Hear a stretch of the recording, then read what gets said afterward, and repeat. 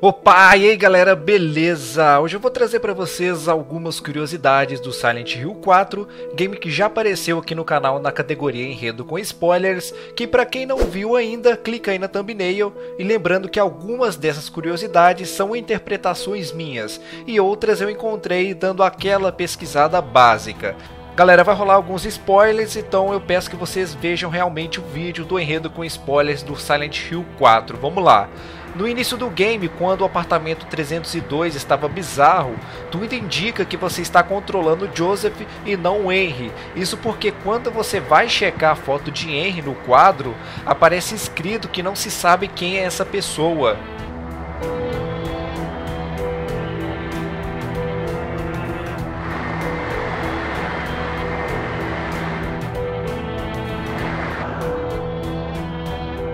Na parte do metrô você vai encontrar uma coisa bem bizarra que parece uma cobra gigante e ela está por todos os lados. Como em Silent Hill você não pode duvidar de nada, creio que isso faz referência ao cordão umbilical que ligava Walter à sua mãe, esse mesmo cordão umbilical que usamos para fazer o ritual do Crystal Tom. Se você reparar bem em Jasper Game, aquele cara que você encontra na floresta, sua camiseta tem a foto do Samael, que cara louco, hein?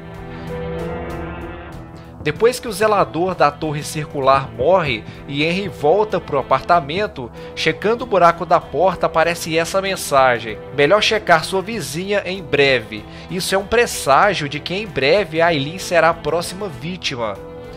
Se você reparar bem, para cada vítima de Walter tem uma mão manchada na parede, e a cada vítima que Walter faz no jogo, uma nova mancha aparece.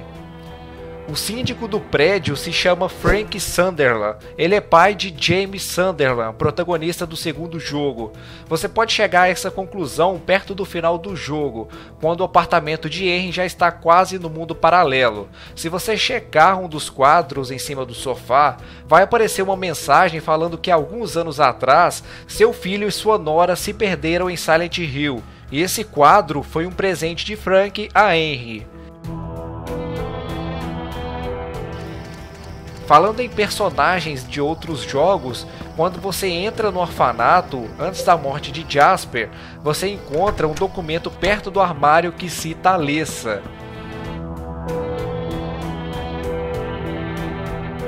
Nesse mesmo local, quando você volta com Aileen, ela pode ler uma das escrituras na pedra que cita Dália. Se a Aileen estiver normal, ela somente cita as três primeiras letras do nome dela. Agora, se ela estiver bem machucada, cita o nome todo. Here goes. October 16th. Some important people came today. One of them, da... It's cut off. I can't read anymore. No quarto 304 você pode encontrar uma escultura de dois dálmatas. Você também pode encontrar essa escultura em Silent Hill 3 também. Seria mesmo easter egg.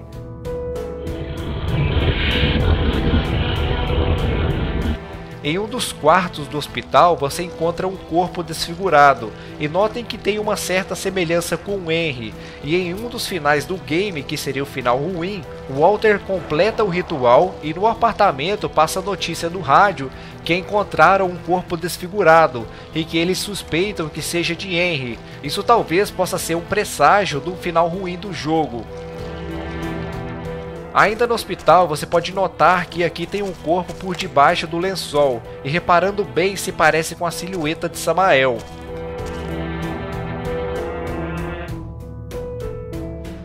Depois que Aileen é atacada por Walter e levada até o hospital, quando você volta para o apartamento e olha pelo buraco da parede, você vê o urso Rob olhando e apontando para você. Isso faz referência que agora Henry seria a próxima vítima. E notem que ele fica nessa posição somente nessa parte do jogo. Nas outras ele aparece normal.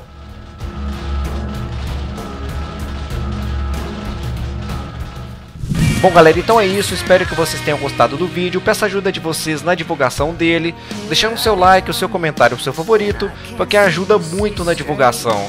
Se você ainda não é inscrito no canal, se inscreva e eu gostaria de agradecer a todos pelo apoio que vocês têm me dando. Me sigam aí nas redes sociais, no Twitter e no Facebook, sempre lá rola muitas novidades. Então é isso, galera. Um grande abraço, fiquem com Deus e até mais.